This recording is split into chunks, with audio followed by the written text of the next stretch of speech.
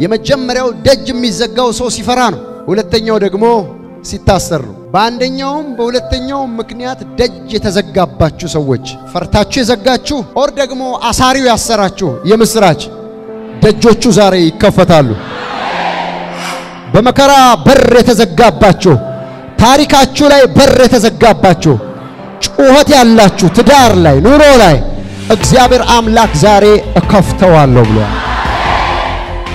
አንድ ችግር በእድሜያችሁ ልክ ነው በጣም በዛ ከተባለ እሱም ለጥቂቶች፣ የአንዳንዶች ችግር ግን ከእድሜም ያልፋል፣ ወደ ዘር ይተላልፋል። ዛሬ ግን እናንተ ቤት ውስጥ እንደተወለደ ልጅ አንድ ዓመት ሆነኝ፣ ሁለት ዓመት ሆነኝ፣ ሦስት ዓመት ሆነኝ እያላችሁ ለእናንተ ጩኸት፣ መከራ፣ ዕድሜ ወይም የልደት ሻማ ያበራችሁለት የምሥራች ከቤታችሁ ይጣላል ዛሬ ሰው የሌላችሁ ተዘግቶባችሁ ዕድሜ ያስቆጠራችሁ ለችግራችሁ ድግስ የደገሳችሁ በዓል ያረጋችሁ ልደት ያረጋችሁ የምሥራች ነግራችኋለሁ።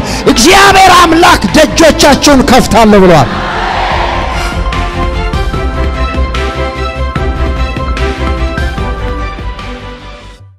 ርዕሱ ደጆች ይከፈታሉ ብሎ የነገረንን ጌታ አምነን ርዕስ አድርገነዋል። ስለዚህ የመጀመሪያውን ክፍል ትላንትና ጀምር ያለው ይሄ ሁለተኛው ክፍል ነው። እግዚአብሔር ይባረክ። በሁለተኛው ክፍል ሁለተኛ ከፍ ያለ ነገር እግዚአብሔር አምላክ ያደርጋል። እስቲ አንድ ያመነ ሰው ጮሆ አሜን ይበል። አንተ ጠላቴ በሉ፣ አታቆመኝም በሉት። አንተ ጠላቴ በሉ፣ ጮሁና እኔ እንደሆነ አልቆምም በሉት። የኔ ጌታ በሉት እንዳልቆም ከዚህ በኋላ እንዳልቆም እርሱ ወስነዋል። ብፈልግ እንኳን በሉ አልቆምም፣ ምንም አያስቆመኝም በሉ ወደፊት እሄዳለሁ በሉ። አሜን። እግዚአብሔር አምላክ ደጆች ስለሚከፍት ወደፊት መሄድ ይሆንላቸዋል። ኢየሱስ የተባረከ ይሁን። ትላንትና እንደ መግቢያ ከተናገርኩት ሐሳብ ጀምራለሁ። ሰው ደጅ ሲዘጋበት ምን ይሆናል? ወይም ደግሞ ደጆችን የሚዘጉት ወይም ደግሞ ደጆች ለምንድን ነው የሚዘጉት ብዬ ነበር የጀመርኩት። የመጀመሪያው ደጅ የሚዘጋው ሰው ሲፈራ ነው። ሁለተኛው ደግሞ ሲታሰር ነው። በአንደኛውም በሁለተኛውም ምክንያት ደጅ የተዘጋባችሁ ሰዎች ፈርታችሁ የዘጋችሁ or ደግሞ አሳሪው ያሰራችሁ የምስራች ደጆቹ ዛሬ ይከፈታሉ።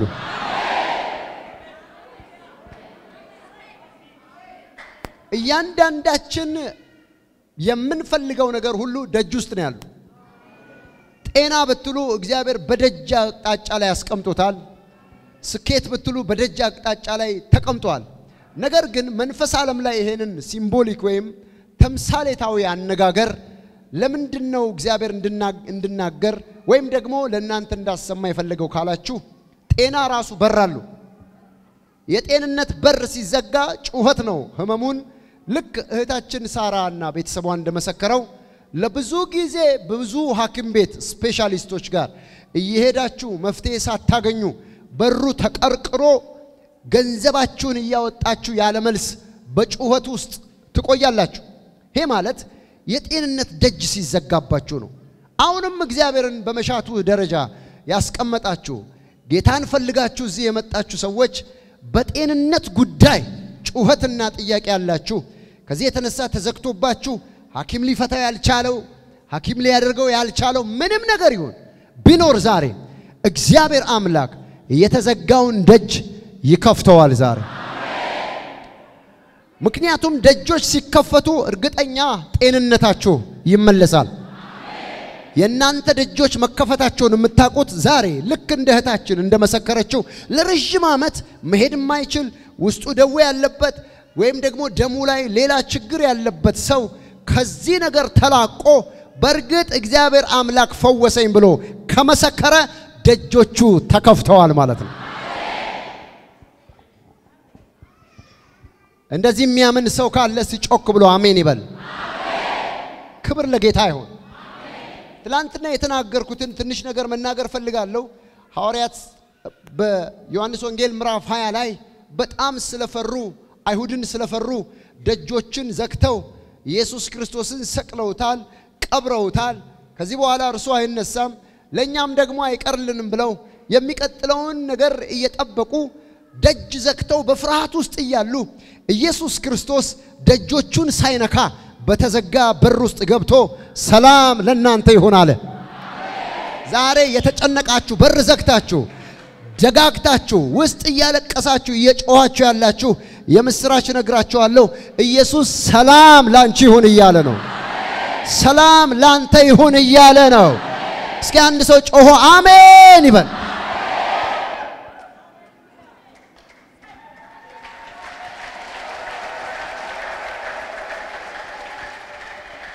ጌታ ኢየሱስ ክርስቶስ ታምራት ከማድረጉ በፊት መጀመሪያ ሰላምን ይመልሳል። ሰላምሽ ከተመለሰ በኋላ ወዲያው ደግሞ የምታለቅሽበትን ነገር ታጨዋለሽ። ኢየሱስ ክርስቶስ ሰላም ለእናንተ ይሁን ብሎ ካለ በኋላ እፍ አለና መንፈስ ቅዱስ ሞላባቸው፣ በእያንዳንዳቸውም ላይ የእግዚአብሔር መንፈስ ተቀመጠ ይላል። አሜን። እነሱም መንፈስ ቅዱስን ተሞሉ ይላል። ከሰላም በኋላ ቅባት በጌታ በኢየሱስም አሜን። ዛሬ ደግሞ የምነግራችሁ ረዥም ጊዜ ዘመን ያስቆጠረ ነገር ነገር ግን ቁልፉን፣ መፍትሄውን፣ መስመሩን፣ መንገዱን ያጣችሁ መሪው ምን እንደሆነ ያልገባችሁ እግዚአብሔር ዛሬ አንድ ነገር ወደ እናንተ ያመጣል።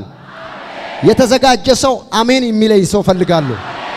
የእግዚአብሔር ልጅ ኢየሱስ ክርስቶስ ዛሬ ተአምራት ያደርጋል። አሜን፣ አሜን፣ አሜን፣ አሜን፣ አሜን፣ አሜን፣ አሜን፣ አሜን። አንድ ችግር በእድሜያችሁ ልክ ነው በጣም በዛ ከተባለ እሱም ለጥቂቶች የአንዳንዶች ችግር ግን ከእድሜም ያልፋል፣ ወደ ዘር ይተላልፋል። ዛሬ ግን እናንተ ቤት ውስጥ እንደተወለደ ልጅ አንድ ዓመት ሆነኝ፣ ሁለት ዓመት ሆነኝ፣ ሶስት ዓመት ሆነኝ እያላችሁ ለእናንተ ጩኸት መከራ እድሜ ወይም የልደት ሻማ ያበራችሁለት የምስራች ከቤታችሁ ይጣላል ዛሬ።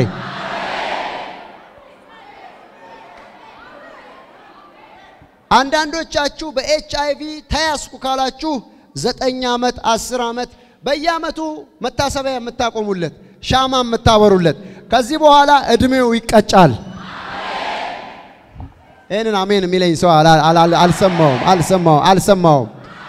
ኧረ አንድ ሰው ጮሆ አሜን።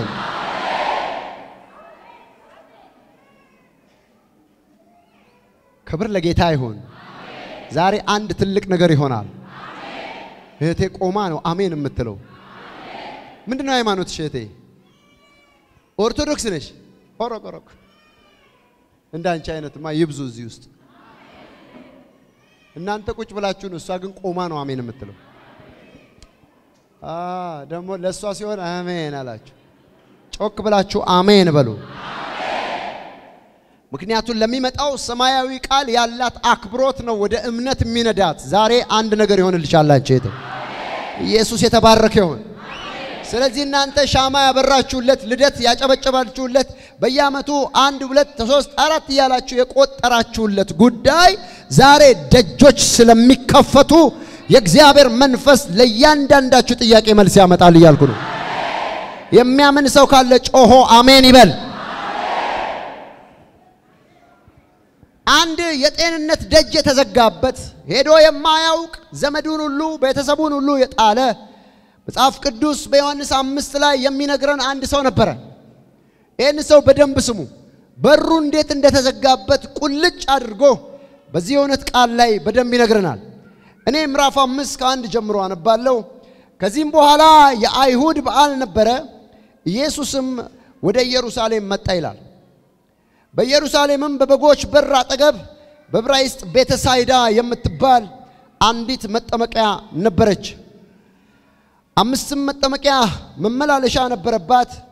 በእነዚህ ውስጥ የውሃውን መንቀሳቀስ እየጠበቁ በሽተኞችና ዕውሮች፣ አንካሶችም ሰውነታቸውም የሰለለ ብዙ ሕዝብ ይተኙ ነበር። አንዳንድ ጊዜ የጌታ መልአክ ወደ መጠመቂያይቱ ወርዶ ውሃውን ያናውጥ ነበርና እንግዲህ ከውሃው መናወጥ በኋላ በመጀመሪያ የገባ ከማናቸውም ካለበት ደዌ ጤናማ ይሆን ነበር። በዚያም ከሰላሳ ስምንት ዓመት ጀምሮ የታመመ አንድ ሰው ነበረ። ኢየሱስ ይህን ሰው ተኝቶ ባየ ጊዜ እስካሁን በዚሁ ዘመን እንዲህ እንደነበረ አውቆ ልትድን ትወዳለህን? አለው። ድዊውም ጌታ ሆይ ውሃው በተናወጠ ጊዜ በመጠመቂያዊቱ ውስጥ የሚያኖረኝ ሰው የለኝም። ነገር ግን እኔ ስመጣ ሳለሁ ሌላው ቀድሞኝ ይወርዳል ብሎ መለሰለት። ኢየሱስ ተነሳና አልጋህን ተሸክመህ ሂድ አለው። ወዲያውም ሰውየው ዳነ፣ አልጋውንም ተሸክሞ ሄደ። እልልታ ለዚህ ቃል። ኢየሱስ ክርስቶስ የተባረከ ይሆን።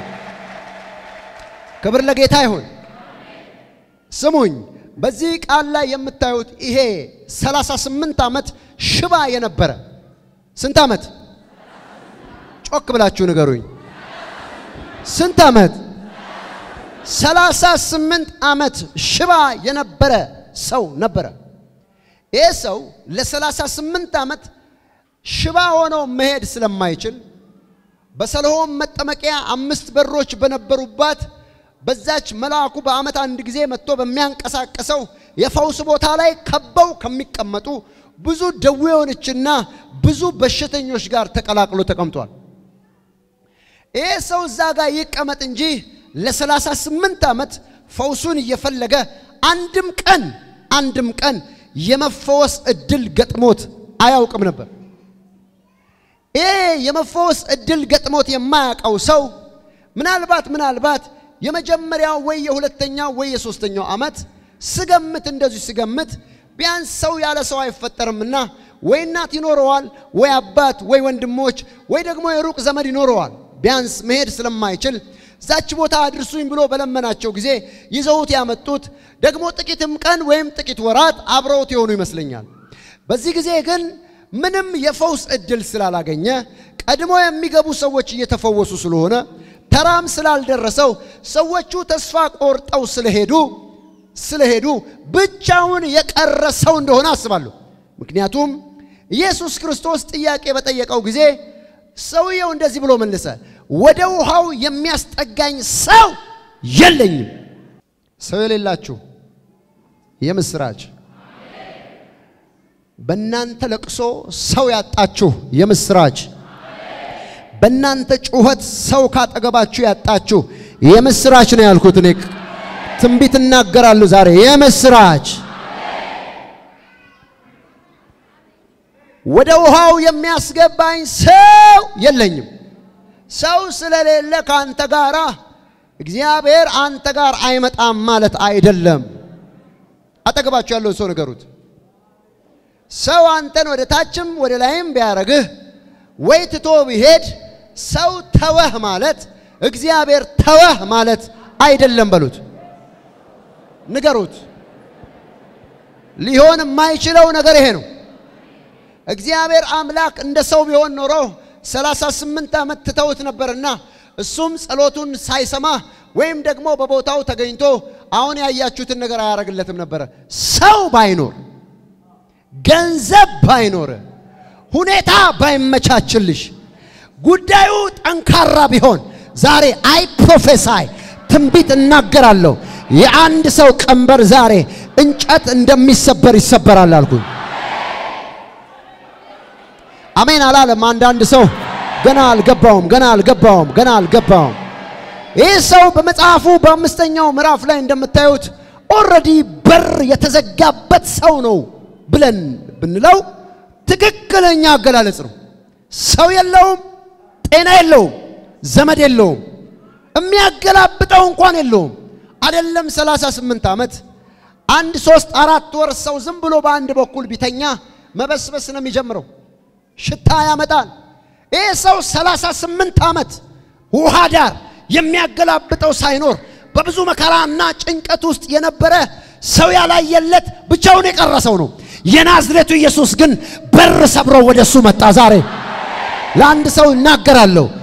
ሰው የሌላችሁ ተዘግቶባችሁ እድሜ ያስቆጠራችሁ ለችግራችሁ ድግስ የደገሳችሁ በዓል ያረጋችሁ ልደት ያረጋችሁ የምስራች ነግራችኋለሁ። እግዚአብሔር አምላክ ደጆቻችሁን ከፍታለሁ ብለዋል። የናዝሬቱ ጌታ ኢየሱስ ክርስቶስ ደጆቻችሁን እከፍተዋለሁ ብለዋል። መልእክት ላንቺ ነው፣ ለእኔ አይደለም። ላንቺ ነው፣ ላንተ ነው። እከፍታለሁ ብለዋል እያልኩ ነው።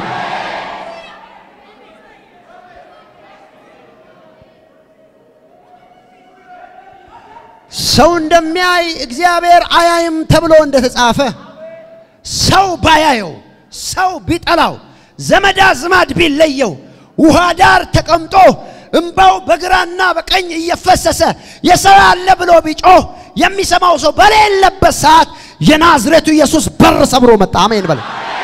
አንጣው እጆችን አሁን በጌታ በኢየሱስ ስም ለአንድ ሰው ትንቢት አለኝ። ለአንድ አማኝ ሰው ትንቢት አለኝ። የተዘጋ በር ያላችሁ ብዙ የጮኻችሁ ከእግዚአብሔር ጋር ጉዳይ የለም ብላችሁ አገር አቋርጣችሁ ወደዚች ቤተ ክርስቲያን የመጣችሁ ዛሬ ለእናንተ ቃል አለኝ። ኢየሱስ በር ሰብሮ ያስገባቸዋል። የተዘጋው ደጅ ዛሬ ይከፈታል እያልኩ ነው። ደጆቹ ዛሬ ይከፈታሉ እያልኩሽ ነው። አምላኬ እግዚአብሔር ደጆቹን ዛሬ ይከፍታቸዋል አልኩ። ስራው ነው፣ ስራው ነው። ደጆችን መክፈት ስራው ነው፣ ስራው ነው። የሚያምን ሰው ጮሆ አሜን ይበለኝ። ስራው ነው የኔ ጌታ፣ ስራው ነው የቀባኝ ጌታ የእሱ ስራ ነው።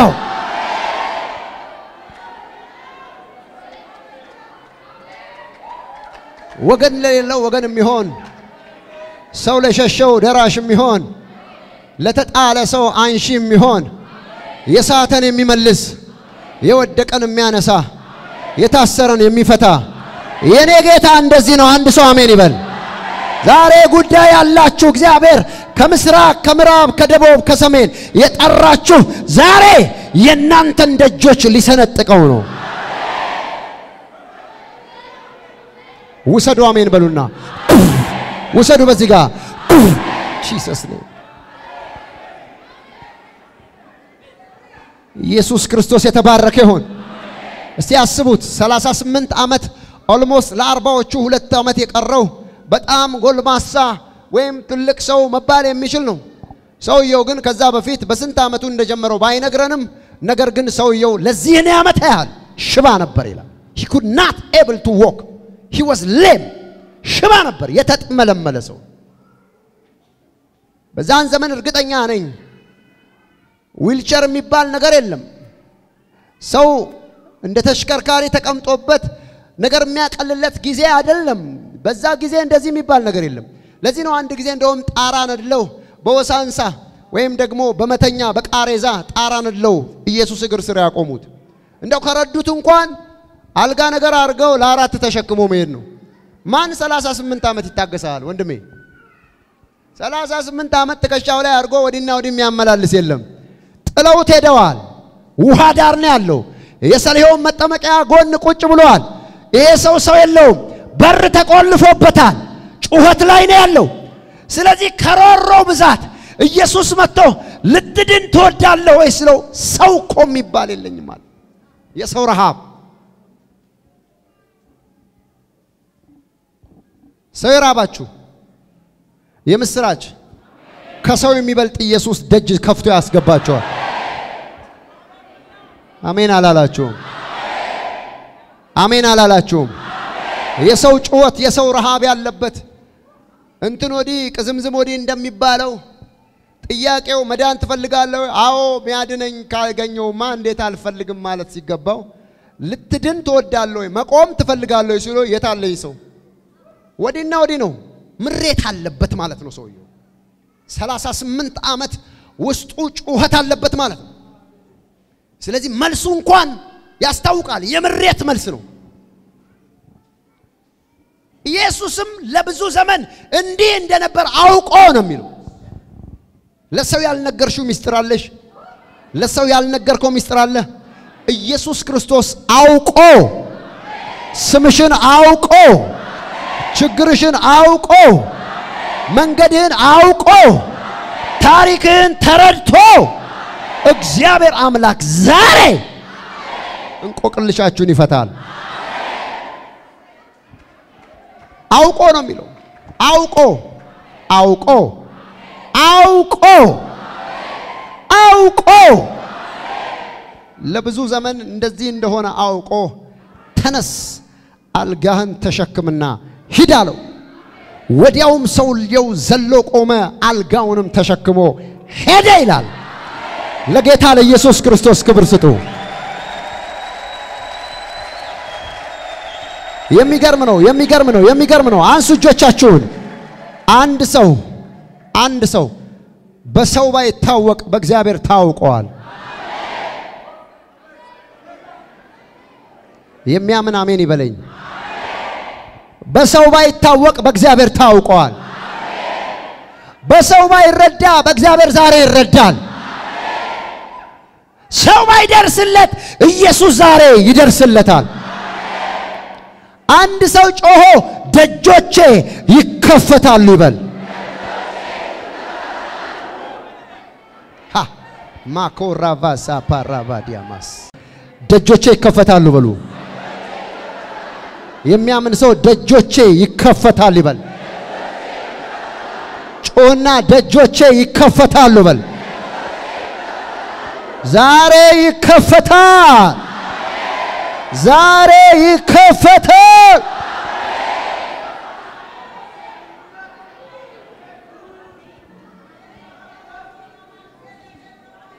እጆቻችሁን አንሱ። ሰላሳ ስምንት ዓመት የተዘጋውን ደጆች ኢየሱስ ክርስቶስ በእርግጥ ከፍቶት ከሆነ በኢየሱስ ክርስቶስ ስም ዛሬ የእናንተ ደጆች ይከፈታሉ።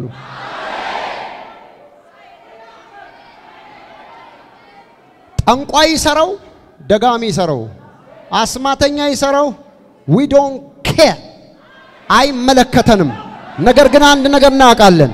ዛሬ ያንተ ደጅ ያንቺ ደጅ ይከፈታል።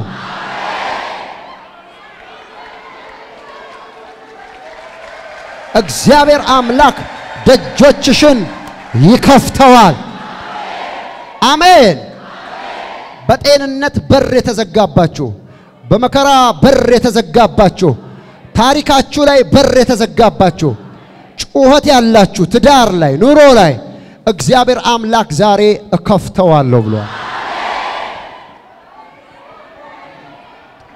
ጩህና ይከፈታል በለኝ። ግድ የለም የመጨረሻ ጮሆ አንድ ሰው ይከፈታል ይበለኝ። ዛሬ ይከፈታል በሎ። ዛሬ ይከፈታል በሎ። ዛሬ ይከፈታል፣ ይከፈታል፣ ይከፈታል።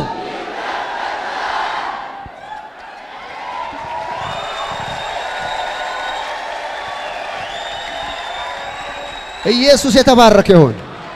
አንድ ሰው ጮሆስ ይከፈታል ይበል። ያዝ አጠገብ ያለውን ሰው እጆችን አርግና ይከፈትልሃል በለው።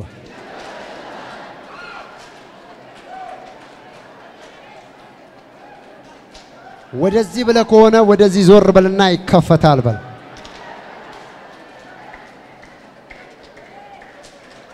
ሃሌሉያ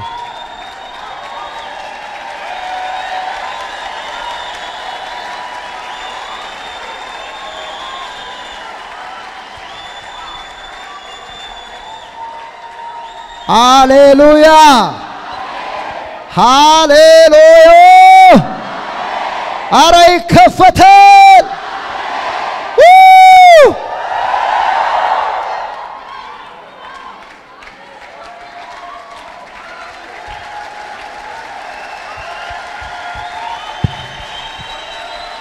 ሃሌሉያ ሃሌሉያ።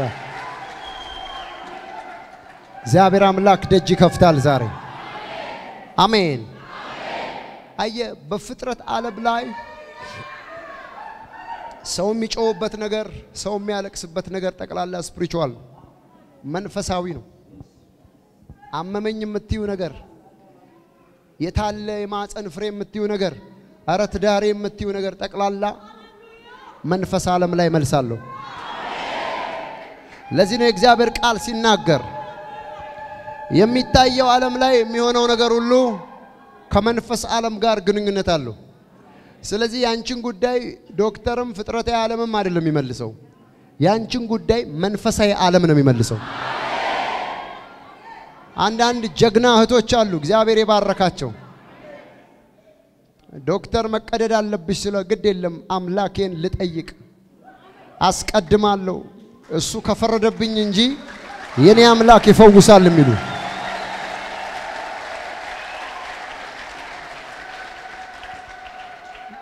እነኚህን እህቶች አንዳንድ እንደ ሞኝ ሊቆጥሯቸው ይችላሉ አንዳንድ ሰዎች። ነገር ግን መልሳቸው መንፈስ ዓለም እሺ ከሆነ እዚህ የሚፈወሱ እንደሆነ ያውቃሉ። ለዚህ ነው ሁሉንም ነገር እግዚአብሔር ቃል ሲነግረን በምድር ያሰራችኋቸው በሰማይ የታሰረው ይሆናሉ። በምድር የፈታችኋቸው በሰማይ በሌላ አነጋገር ምንድን ነው? አንተን አንድ ጠንቋይ ማሰር ከፈለገ እዚህ ሲያስርህ ሰማይ ላይ ይታሰራል። ከዛ አንተ ቆመን የምትቀረው በአካላዊ ዓለም እኮ እንደ ማንኛውም ሰው ነፃ ነህ። ግን ብዙ ነገር ስለታሰረ ስራ አይሆንልህ፣ ንግድ አይሆን፣ ቤት ነገር አይሆን። ለምን ቢባል እዛ ቆልፈዋል። አሁን ኃይለኛው መጥቷል። የናዝሬቱ ኢየሱስ መጥቷል። በሮችን የሚከፍተው መጥቷል። ስለዚህ እዚህ ሲከፍትልህ እዛ ይከፈታል። ዋናው እዛ ነው። አሜን። ይሄኛውን አከፋፈት የሚያጸድቀው ስሙ አሜን በሉና፣ wow wow wow። ስለዚህ ያጠገባችሁ ያለውን ሰው ነገሩ ይከፈታል። ነገሩ ዛሬ ይከፈታል። ጉዳዩ ዛሬ ይከፈታል። አቤት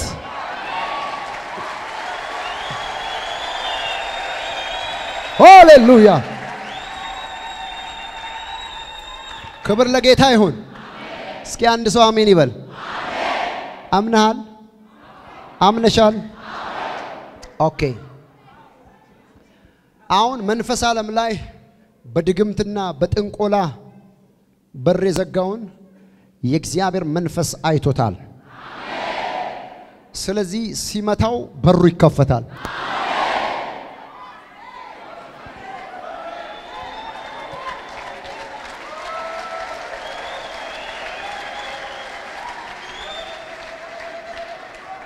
ትላንትና አንድ ነገር ተናግሬ ነበረ። ሰውየውን ማሰር የሚፈልገው ጠንቋይ የሰውየውን ስም ካገኘ በኋላ ከና አባቱ ከና አያቱ ካገኘ በኋላ ስሙን ግጥም አድርጎ ጽፎ አጋንንታዊ ነገሩን ካደረገ በኋላ የአምቦሃ ጠርሙስ ውስጥ ያስቀምጠዋል። ከዛ የአምቦሃ ጠርሙሱን ይከድንበታል። ያ ሰው አሜሪካም ይሁን ቅርብም ይሁን ሩቅ ነገሩ ተዘጋ። ልክ እንደዛ ቤት ውስጥ ነው የሚሆን እየመሰለ ነው መንፈሳዊ ዓለም የሚሰራው። ትላንት ብያለሁ። እግዚአብሔር አምላክ አምቧ ጠርሙስ ውስጥ የገተተውን ያንን ጠንቋይ እግዚአብሔር ሊቀጣው ስለሚፈልግ ዛሬ ጠርሙሱን ያፈነዳዋል ያልኩ። አሜን በለኝ። ግድ የለ አሜን።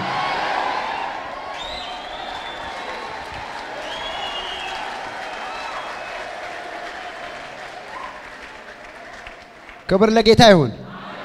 እንደውም የሚገርመው ነገር አንዳንዶች አንዳንዶች ደግሞ በጨለማ ቤት ውስጥ አለ። ይሄ ደግሞ ጠንቋይ እንዲህ ነው የሚሰራው። ጨለማ ቤት ውስጥ አስገብቶ እኔ እንዴት እንደሚታየው በአካል አይታወቅም፣ ግን አንድ ሰው የሚሰራው አሉ በመቶ ስልሳ ሺህ በሁለት መቶ ሺህ ነው አሉ ጥንቆላ የሚሰራው እና የሚሰራው መግደል ብቻ ነው። ይህን ሰው ግደልልኝ ሲለው ሰውየው ያንን ገንዘብ ያስገባል። ከዛ ሰውየው መስታወት ውስጥ መስታወት አዘጋጅቶ ጨለማ ቤት ውስጥ ይገባል። ከዛ ያረደውን ውሻ ደሙን መስታወት ላይ ይረጫል። ከዛ እዛው መስታወት ላይ ያንን የሚሞተውን ሰውዬ ስም ግጥም አድርጎ ይጽፋል። ከዛ አጋንንታዊ ነገሩን ሲያደርግ ያ ሰው በቅርብም ይሁን በሩቀት እዛው ሰዓት ላይ ድንገት ሶፋ ላይ የሚቀመጥ ቴሌቪዥንም እያየ ይሆን ክልው ይላላሉ። የአጋንንት ስራ ነው። አንሱ እጃችሁን። ዛሬ ስሙኝ። የጌታ መንፈስ ደጆችን ከፍቶ ሲገባ የእናንተ ስም ጠንቋይ ቤት ይሁን ደጋሚ ቤት ይሁን እኔ እዚህ የእግዚአብሔርን እሳት ስጠራ ደጆቹ ይሰበራሉ።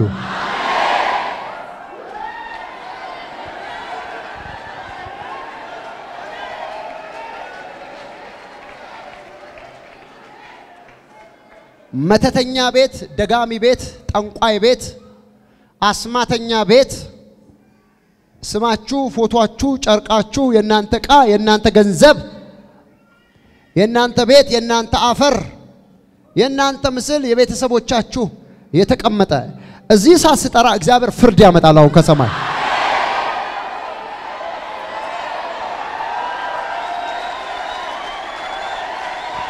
ፍርድ ይሆናል ዛሬ። ግዴላችሁም ዛሬ የሚሆን ነገር አለ። እኔ ደጆቼን ሳላስከፍት ከዚህ ነቅነቅ አልልም የሚል ሰው ጮሆ አሜን ይበል።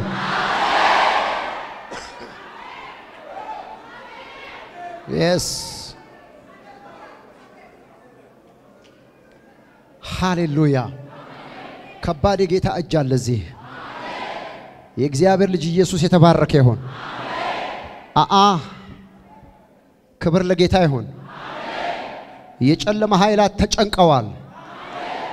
እርኩሳን መናፍስቶች ተጨንቀዋል። ደጅሽን የዘጉ ደጅን የዘጉ ተጨንቀዋል። የሚገቡበት ቦታ ጠፍቷቸዋል። እግዚአብሔር ጠላቶችሽን ሊያዋርዳቸው ነው። ዛሬ ስምኝ፣ ቀኗን ያዢ፣ ደጆች ይከፈታሉ። ቀኑን ያዝ ወንድሜ፣ ደጆች ይከፈታሉ። አምላኬ እግዚአብሔር እከፍታለሁ ብሏል፣ ይከፍታል። ያዙ እጃችሁን እስቲ